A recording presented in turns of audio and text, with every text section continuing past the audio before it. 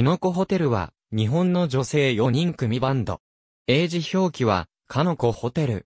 結成当時は、グループサウンズや、ガレージパンクなど1960年代後半のロックンロールサウンドに着想を得た楽曲や衣装、キノコヘアーを特徴としていたが、2011年以降は、長尺な曲も増えさらに複雑な音楽性を展開。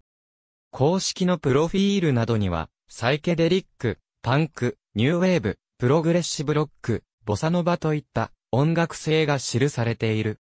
バンドとしてのコンセプトは、創業当初から過激でポップな中毒性の高い大衆音楽、いつか見た幻のような貴重感を覚えるありそうでなかった音楽である。インディーズ時代にも、その独自の存在感で早くから注目を集めており、CD セールスも好調であった。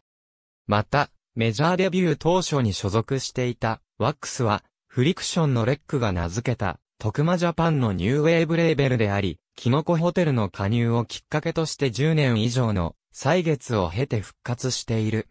メンバーは、従業員と呼ばれ、全員マッシュルームカットに、ミニのミリタリールックといういでたちで統一されている。赤い制服となったのは2008年夏からで、以降青や黒、ツーピースなど、バージョン違いも多数登場し、現在に至るまで十数パターン存在する。ライブを、実演会、ファンを、フォースと呼ぶ。2008年にはザ・ハプニングス4、2009年には、ザ・ガリバーズといった1960年代の GS との共演を果たした。2013年には、ムッシュ、カマヤツのステージに、マリアンヌ・シノの目が急遽参加し、バンバンバンを披露した。2009年秋、新宿ロフトにて30日間にわたり開催されたパンクロックニューウェーブのイベント、ドライブトゥー2010に3回出演している。2011年にはギター雑誌、プレイヤーの2010年年間人気投票で国内外新人部門3位を獲得した。